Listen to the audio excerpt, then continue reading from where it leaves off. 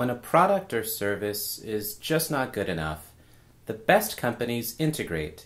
That is, they gather up all the pieces together and create a superior experience. In this video, let's see how Google intends to make a better internet experience. That is, let's see how they intend to make the world's information a lot more accessible. Now, Google is slowly and methodically transforming itself into a different type of company, a type of organization the world has never seen before. The first truly integrated internet company. Part 1 Who controls the internet? Let's think about all the companies we deal with just to get online. First, we pay a company to connect to its network, whether it's wirelessly or through cables. Wireless carriers sell access to their networks that are built on radio spectrum licensed by the government, while ISPs sell access to their cables that are running into your home. Both types of companies sell access to what is called the last mile. That is, the part of the network that brings the internet to the screen you're looking at right now. And most of their profits come from charging subscribers for access. Now, compared to Europe, prices in the US are relatively high. And on the wireless side, thanks to some healthy competition coming from T Mobile, Finally, data prices have been inching down. Still, despite all the technological advances, upgrading the last mile will always be the most expensive and complex, and really it'll be the biggest bandwidth bottleneck for most users. Now, on the opposite side of the network, we have young internet companies that offer services like streaming music and video, social networks, productivity, and shopping. Because of their innovations, we can watch videos like this one, stream movies, browse social feeds, do some work, check email, or even play some video games. Now, to survive, every company must make money either directly from subscribers or from businesses that choose to advertise on their platforms. And Google has proven that some awesome free internet services can be built on top of advertising money. But right now, there's an epic power struggle over who's going to control the future of the internet. You see, broadcasting cable companies used to have a monopoly on every single screen in the house. But today, millions of cable subscribers realize they'll be just fine with YouTube, Netflix, and iTunes, so they decide to cut the cord in order to save money. And in response to make up for these losses, Comcast wants to charge these young internet companies for access to a fast lane that'll allow their websites to load more quickly. This means that if a young internet company wants to offer its users a better experience, they'll have to pay Comcast first. So late last year, President Obama weighed in on the debate. Ever since the internet was created, it's been organized around basic principles of openness, fairness, and freedom. That's why I'm urging the Federal Communications Commission to do everything they can to protect net neutrality for everyone. The public has already commented nearly 4 million times asking the FCC to make sure that consumers not the cable company, gets to decide which sites they use. Now, the telecommunication industry knows that in the future they're going to have a money problem. They claim that they need the money in order to invest in upgrading the last mile. So they're doing other things to try to improve their cash flow, namely mergers and acquisitions. If Comcast buys Time Warner and AT&T buys DirecTV, combined these two companies will control about two-thirds of the pay TV market. Monopoly power is definitely one way to try to preserve your business. And finally, this epic power struggle will culminate on February 26th when the FCC will vote on new rules governing the internet and net neutrality. And a big company like Google, a core component of the internet, really has to have a plan one way or the other.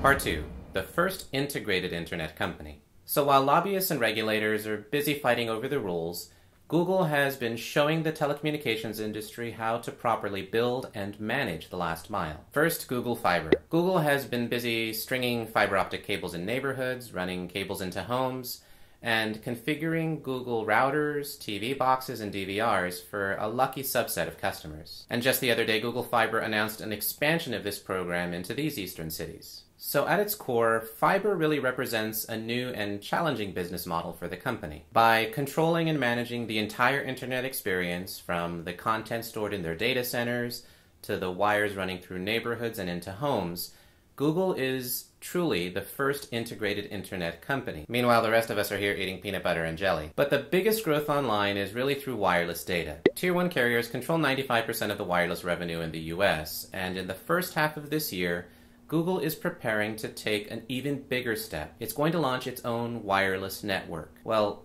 Kinda sorta. Google will offer wireless services as a mobile virtual network operator. An MVNO purchases wireless data from existing carriers and resells them to customers at a discount. Today, the biggest MVNO is TracFone with its signature brand Straight Talk. This company buys wireless data from AT&T, Verizon, or T-Mobile and sells them and distributes their phones through Walmart. Now, if you're going to compete against an established company or brand, you really need to offer something different. And according to some early reports, Google Wireless will be able to seamlessly switch between T Mobile, Sprint, or Wi Fi networks to ensure that you have the most reliable connection. If true, this will be the first service that offers this unprecedented amount of network flexibility. But there are a couple of challenges. First, compatible phones will have to support the bands on Sprint and T Mobile, phones like the Nexus 6 and the iPhone 6 Unlocked. So initially, the choices will be limited. Second, distribution. Google needs to either set up its own operations or outsource them to a third party like existing retail stores. And last, Sprint has a clause limiting the size of Google's user base, so there'll be some potential problems if the business gets really popular and chooses to scale up. But Google definitely has some really strong advantages that no other company can match. Lately, most wireless services are shifting away from voice to more data centric experience. Think of services like WhatsApp, Snapchat, Google Voice, Google Hangouts, or Voice over LTE. As an organization, Google has definitely built up the expertise to deliver a smooth data centric experience. Also, Google has the largest advertising platform on the internet.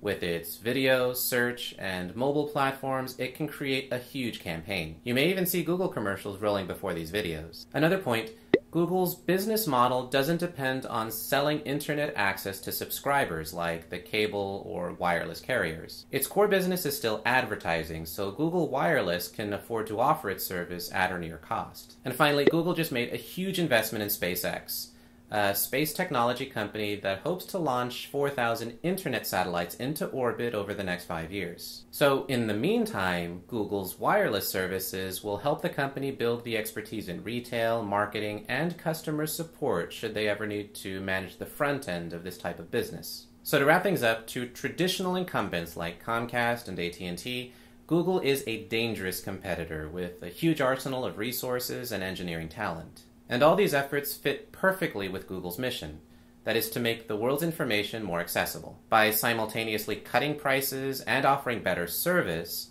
both Google Fiber and Google Wireless will make the internet a much better experience, at least for those who have it. So thank you guys for watching, liking, and sharing these videos as always. Uh, again, this video was unexpected, but after completing the previous video over SpaceX and how Google's investing in that company, it led me down a path to look at what Google's doing with fiber and its new upcoming wireless services this year. So I hope you guys like it. I still owe you a video on NVIDIA and AMD. I'm still researching it. Hope to have it out by the end of this week, as long as no big tech news comes out that really changes the way uh, people see the world. So I'm really excited by what Google has to offer. I'm hoping they come here. Unfortunately, I don't live in the San Jose Palo Alto area, but it would be nice to know that they're just right next door. So one day we might move down there and uh, take advantage of it just for that, but prices are just ridiculous over there. I don't know how people can afford to live there. Anyways, most of all, I wanted to thank you guys for spending your time here watching these videos as we continue to explore how technology changes things.